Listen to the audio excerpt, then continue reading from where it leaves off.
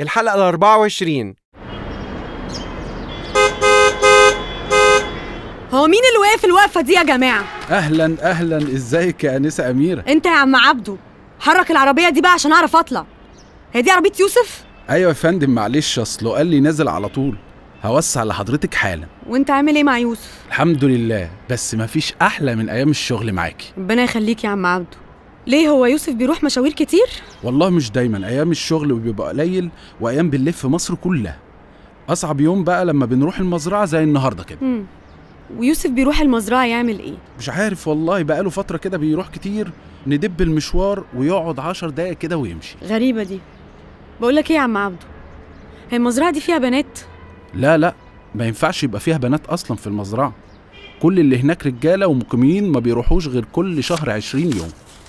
امسك يا عم عبده. خيرك علينا يا أستاذة والله. دول العيال بقالي كتير ما سألتش عليهم. سألت عليك العافية يا بنت الأصول. بقول لك يا عم عبده أنا عايزاك في خدمة. تحت أمرك يا أستاذ عايزاك تشوف لي حاجة في المزرعة. بس بيني وبينك من غير ما أي حد يعرف حاجة.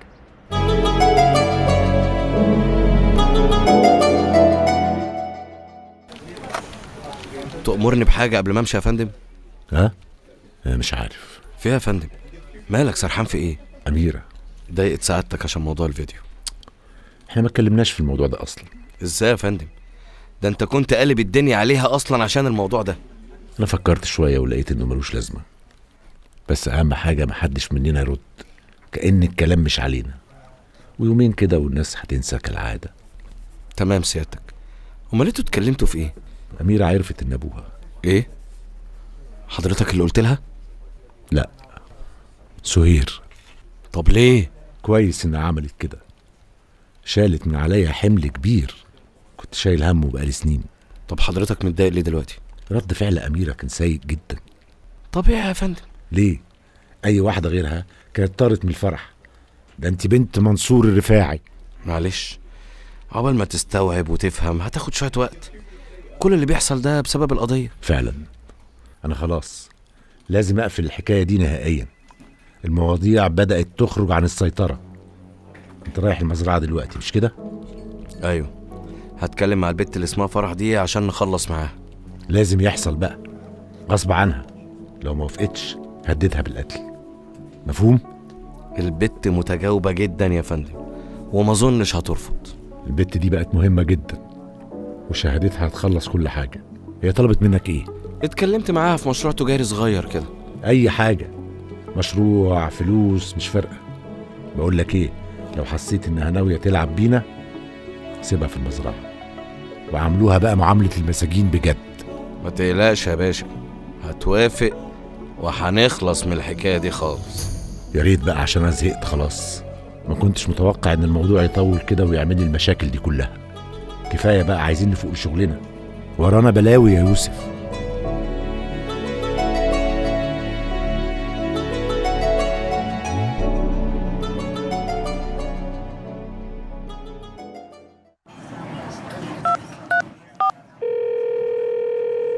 ألو؟ أيوه يا صالح. إيه يا أميرة؟ قلقتيني عليك أنت ما بترديش من ساعتها. معلش كنت بتكلم مع ماما في حوار طويل قوي واتاكدت منها؟ اتأكدت منها ومن منصور ومن كل حاجة. أنا طلعت بنت منصور فعلا. دي حكاية غريبة قوي ولا الأفلام. ورغم كل اللي سمعته لسه مش مصدقة. أو عقلي مش قادر يستوعب. الموضوع صعب عليا قوي يا صالح. معلش معلش يا أميرة. طيب انت نامي شوية وحاولي ما تفكريش في حاجة. أنا لا هعرف أنام ولا هعرف أبطل تفكير. حاولي. أنت فين؟ في النيرفانا. طب روح ارتاح أنت كمان. أنت لسه تعبان. لا والله أنا حاسس إني أحسن الحمد لله. وعلي جاي يقعد معايا شوية. أهو وصل أهو أصلا. علي علي تعال أنا هنا. ماشي أسيبك دلوقتي. ماشي ماشي. هكلمك بكرة. bye. إيه يا علي بيه نورت نيرفانا. نيرفانا إيه بس؟ يا ابني أنت المفروض في سريرك دلوقتي. ما أنا زي الفل أهو يا عم في إيه؟ مش أحسن من قعدة البيت؟ هو أحسن طبعا. ومرتاح بقى في القعدة المشعلقة دي. لا أنا متعود أقعد على البار أصلا. تحب نقعد على أي ترابيزة؟ يا ريت. أنا ما أعرفش أتشعلق كده. وبعدين دي قاعدة غير وقورة ولا تليق بواحد زيي. طب تعالى تعالى نقعد على الترابيزة دي.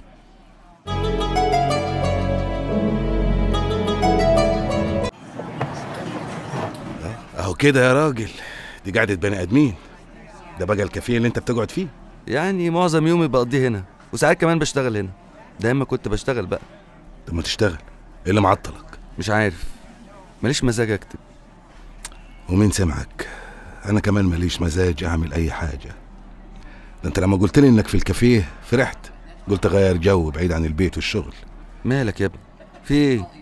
مفيش. مفيش إيه؟ هو أنا لسه عارفك إمبارح. مالك يا أبو ضيف؟ مفيش مفيش حاجة. يوه انت هتعمل زي البنات ياد ولا إيه؟ نقعد نقول لهم مالك 20 مرة عشان يجاوبوا. ما تقول يا عم في إيه؟ كده يا ابن عم محمود. بتشبهني بالنساء. آه، أصل بصراحة متخانق مع أم العيال. يا نهارك أبيض. مراتك؟ أمال مرات أبوي؟ ليه كده؟ دي مراتك ست طيبة وغلبانة. هي طيبة آه. بس مفيش ست غلبانة اسمع مني. ليه يا عم؟ حرام عليك. عملت لك إيه يعني؟ بالصدفة البحتة وأثناء البحث في جميع الدواليب عن فردة إحدى الشرابات المفقودة اكتشفت كمية كبيرة من الملابس الجديدة. بالتيكت.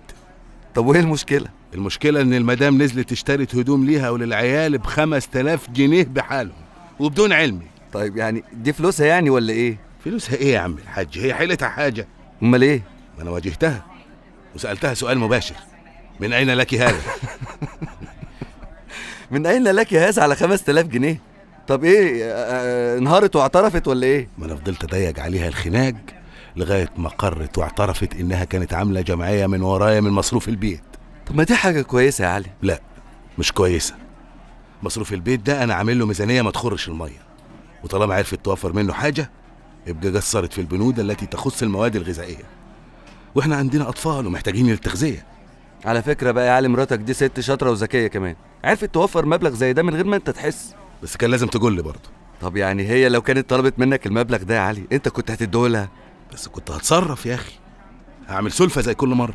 طيب اديها اتصرفت ومن غير ما تستلف ولا تتداين. دي المفروض تروح تشكرها وتبوس ايديها كمان. عليا النعمة انت راجل فقري. يعني انت شايف كده آه طبعا شايفك ده. وبعدين من أين لك هذا إيه بس يا علي؟ ده سؤال ما تسالش لمراتك. ده يتسأل لناس كتير قوي في البلد يا علي. خلاص خلاص. هصالحها لما أروح وامري لله. لا قوم كلمها دلوقتي عشان ما تنامش وهي زعلانة. لا لا لا. أنا عارف اصالحها إزاي. طبق كنافة بالمانجا هيخلص الكلام. ربنا يسعدكم يا علي. طب قول لي مفيش أي جديد في القضية عندك؟ لا ولا عندك. ولا عندي. تشرب إيه؟ ولا تاكل أحسن؟ مش عايز أغرمك. يا عم غرمني بس أنت مالكش دعوة. أنا هاكل معاك. بتاكل إيه؟ آه ممكن آخد آه واحدة بيبروني. إيه ببرونه دي؟ إحنا لسه بنرضع يا عم صالح ولا إيه؟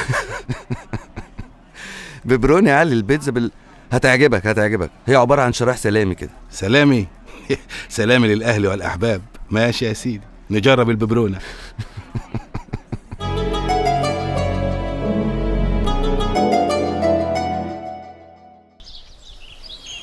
يا دي الأنوار يا دي الأنوار. والله يوسف بيه مليك عليا حلفان. أنا بفرح لما سيادتك بتنور المزرعة. شكرا شكرا يا ثابت. هي منوره بيك. ما انت عيني هنا. شرف ليا يا كبير. البت فين؟ في أوضتها. اجيبها لحضرتك على المكتب؟ لا لا.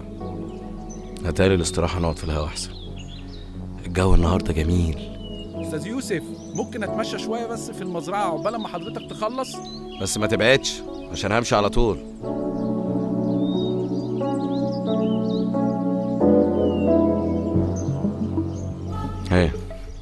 فكرتي عم اسماعيل رأيه إيه؟ هو للأسف عم اسماعيل مش هيقدر يقول رأيه ليه بقى إن شاء الله؟ لأنه توفى إيه؟ م- مات؟ مات إزاي؟ ومحدش قال لي ليه؟ كنا مخبين عليكي مراعاة لظروفك الصحية لا كتر خيركم الله يرحمك يا عم إسماعيل يعني الراجل ده راح بسببي ده كلام برضو ده كلام ده قضاء وقدر أمر الله يا بنتي ونعم بالله. ها عايزين نخلص يا فرح. وهتدفعوا كام بقى؟ كام دي؟ مش مشكلة خالص. أهم حاجة تشهدي باللي نقولك عليه. وأول ما تخرجي من النيابة هتاخدي كل اللي انت عايزاه. وافرض بقى اني شهدت وما اديتونيش حاجة. مستحيل. واضح إنك لسه ما تعرفيناش كويس. إحنا لا محتاجين نعمل كده ولا في مصلحتنا. ما نشوف. ده انت هتشوفي اللي عمرك ما شفتيه. أما بقى لو الشيطان لعب في دماغك وقلت كلام تاني قدام النيابة هتكوني جنب عمك إسماعيل خلال ساعة زمن بس من خروجك من النيابة. أنا هاخد نص مليون. نص مليون؟ ماشي أوكي تمام. دولار. ما مش كتير شوية؟ أنت قلت بقى الفلوس ما فيهاش مشكلة بالنسبة لكم. ماشي يا فرح ماشي. موافق. طب يا ريت بقى ده يحصل بسرعة. زهقتي مننا يا فرح؟ آه والله زهقت وتعبت من المزرعة دي. وعايزة أتعالج بقى أديك شايف. اتفقنا. هنرتب أمورنا وهاجي أخدك من هنا على النيابة على طول. تقولي الكلمتين تاخدي فلوسك ومع تمنياتنا بحياة سعيدة. وتروحي على طول. وأنا جاهزة أي وقت. فرح. هو ترجعي في كلامك. ده لو مش عايزة تكملي حياتك مع شجر البرتقال واليوستفندي في انتظارك يا أستاذ يوسف. ثابت! شوف عبده فين وقول له يجهز. عقبال ما ابص بصة سريعة كده على المزرعة. جاهزة يا ريسنا. قاعد على البوابة اهو. عم عبده يوسف بيخلص ده مش دلوقتي جاي في إيه وماشي في إيه؟ ده إحنا ما كملناش ربع ساعة. ملناش فيه عمنا. يجي ويمشي بكيفه وبراحته بشوقه. قال قول لي يا ريس ثابت مين العسل اللي كانت قاعدة مع أستاذ يوسف دي؟ تسأل ليه؟ مفيش. أصل أول مرة أشوف بنات في المزرعة يعني. آه آه. دي آه، مهندسة؟ مهندسة هنا في المزرعة؟ إزاي؟ وإحنا مالنا يا عم الحاج؟ مزرعتهم هم أحرار يشغلوا بنات يشغلوا عفاريت ملناش فيه. يلا يا عبده عشان نمشي.